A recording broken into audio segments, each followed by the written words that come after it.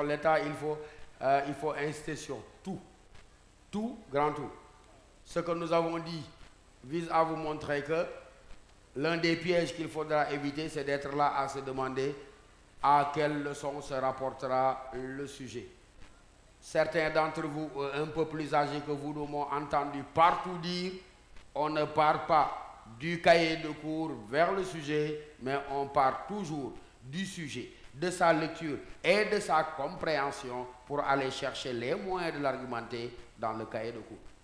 La vocation de cette rencontre n'est pas soi-disant de donner les sujets de l'examen. Ce serait une catastrophe pour nous en tant que pédagogue, enseignant, formateur. Mais ici, nous sommes là pour revenir sur ce que les collègues ont dit et très bien dit. Vous aider dans un cadre moins austère à mieux vous le réapproprier. Si vous avez compris l'esprit de notre démarche, il a consté à vous dire la réussite est en vos mains.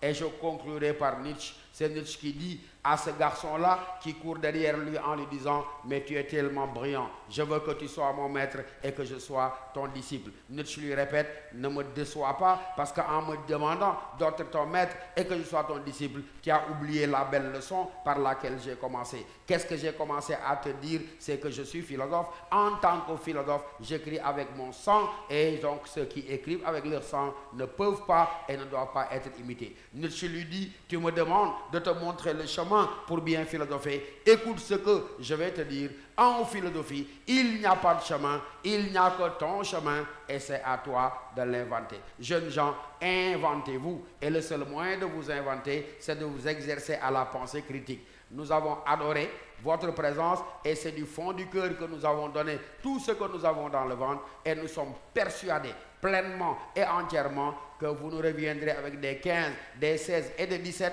et que quand vous reviendrez, c'est que vous, vous aurez réussi et vous viendrez en tourisme, mais prendre des photos et dire à vos jeunes frères, voilà la place ou l'endroit auquel j'étais assis.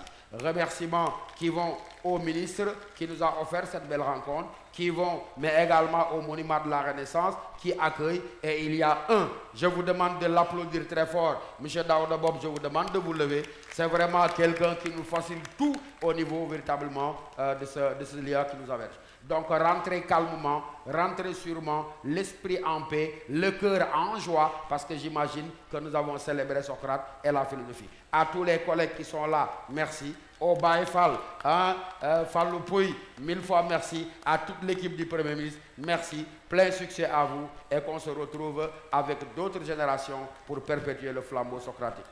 Merci à tout le monde. Je vais laisser le mot de la fin à notre ami M. Kébé